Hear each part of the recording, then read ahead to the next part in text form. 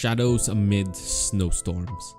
That was pretty interesting and there's quite a bit I want to talk about regarding the lore. So the first thing they show us is the giant wolf, the golden wolf lord, which is pretty interesting because Zack said that it's an enemy from another world, not from the abyss. Now this could be a mistake, but we do know from the archive that the rift hounds were created by gold. It's mentioned in the in the archives itself. It was also mentioned that they were prevalent during the cataclysm, but they have dwindled in numbers following hunts and resistance. So I'm guessing he actually meant to say that it's from the abyss or maybe the abyss is another world maybe the abyss isn't even considered to be part of Teyvat and is like a different world. I'm not entirely sure what he meant by this as another world. Maybe it's just a mistake. Maybe he's referring to the abyss itself. Or maybe Gold used essence from this Golden Wolf Lord in order to create the Rift Hounds today, meaning maybe Gold was also a traveler of worlds and maybe he found the Golden Wolf Lord from another world. Something to think about.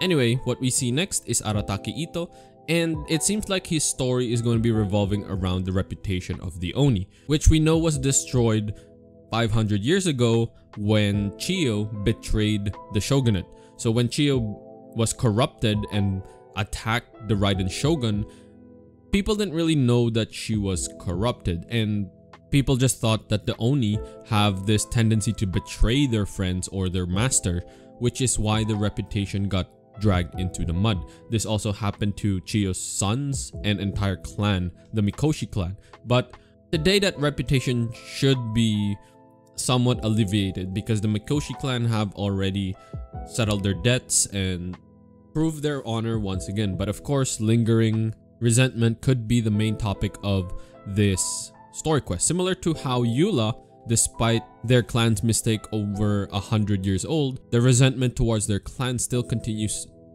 until today. That's the same thing probably with Arataki Itto and the Oni.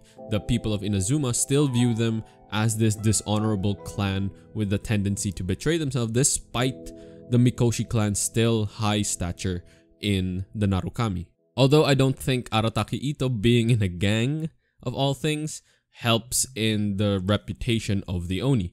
But it looks like that Itto has his own reputation and he likes to be a sort of peacekeeper, which is probably what we're gonna be doing here. Looks like whoever's the villain of this uh, storyline has gotten hold of a charm similar to the Labyrinth Warrior's charm and was able to create their own domain, which we will probably help Itto take down. But I do hope we do learn a little more about the displaced Oni and how they have fared over the last 500 years, especially since we know that Chiyo's sons have worked really hard in maintaining their reputation. Because the Oni were also the ones who created the Iwakura blade art, which we kinda ended their bloodline by killing all the students as well as the master of the Iwakura art. So, um, yeah, the Traveler is kinda also responsible for killing a lot of the Onis. Kind of. Up next, it looks like we're coming back into Dragonspine in order to help with some training for the Adventurers Guild. Uh, some sort of northern cold training, which is kind of weird, but it looks like maybe the Knights of Favonius volunteer in order to help new adventurers. This is probably why we see Bennett in the trailer and the story, also Amber and Eula. What's more interesting though, it looks like someone's been ransacking Albedo's alchemy stuff.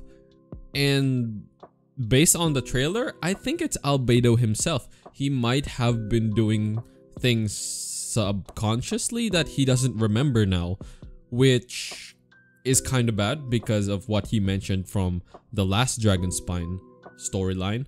So maybe he's starting to lose himself a little bit at least that's what I think. It might be another third party person, maybe it's the treasure hoarders, but I think Albedo is starting to kind of lose himself and he's been ransacking his own stuff, maybe desperately trying to find some sort of uh, cure or whatever he thinks is going on with his body and mind. And then suddenly in the trailer, he turns on us And not only that, but he turns on us using some sort of ice power. But it looks like ice power, but it could also be the art of Khemia because, you know, art of Khemia is basically alchemy. It can be pretty much anything, which also begs the question on how powerful Khaenri'ah was when they had the art of Khemia mastered because they could basically maybe if I'm right that Albedo is using the art of Khemia to produce this ice then maybe the Khaenri'ahns before could use all sorts of magic and maybe even all sorts of elements an eighth element maybe and it's not even a little bit just from the trailer we see that he can dish out a lot of elemental power using this either art of Khemia or ice powers. Maybe he's the new Fatui Harbinger. Maybe he got Signora's delusion and now can use Signora's ice powers. Just kidding, just kidding. It's also a testament to how powerful the Knights of Favonius actually are in lore, which I did cover in a previous video. Very interesting to see Albedo gonna fight us, maybe a new world boss. Well, probably not world boss, but probably a a boss fight maybe, like the fight with A. I'm also very happy that Amber and Bennett are finally getting more screen time and getting into stories and seeing Bennett actually fight in the story is pretty pretty cool. I cannot wait for this story. I hope they add more lore bits into the story as well as we learn more about Albedo himself. You also have to remember Albedo is one of the people that can actually tell us about Khaenri'ah and maybe even Rhinedottir can we learn a little bit more about that? Also, Alice, we can potentially learn more about the lore from Albedo, almost the same as the Archons. Hopefully, hopefully we get to learn more about that, but I'm not really that confident. In any case, there's also one more event that I want to talk about, and that's the Energy Amplifier event. Now, the event itself is just a rerun, supposedly, but I think we're going to get a continuation of the story itself or the the lore behind the energy amplifier by the Sumerian scholar. This means that we will learn a little bit more about the Irminsul trees, which are getting a bit more limelight these days as a very important uh, tree. But yeah, it's important because they take root directly into the abyss and they are supposedly uh, fonts of power through the ley lines. They're like uh, points of interest for the ley lines. So it would be nice to learn more about the Irminsul trees from this Sumerian scholar, aside from just it being a rerun, which we could potentially could potentially just be a rerun, but if it's a continuation of the previous storyline, that would be cool as well. And maybe we can even learn a little bit about the Hexenzirkel, who are this coven of witches who are uh, studying the Irminsul trees and granting them insane capabilities. Alice is one of the characters in this Hexenzirkel that we know that's near omnipotent. Could it be that they're get, getting their strength from the Irminsul trees itself? But yeah, there could be a lot of lore potential in the next patch. Let's hope that MiHoYo leaves a little bit of breadcrumbs for us to pick up but let me know your thoughts. What do you think about 2.3? Lore-wise and maybe even gameplay-wise.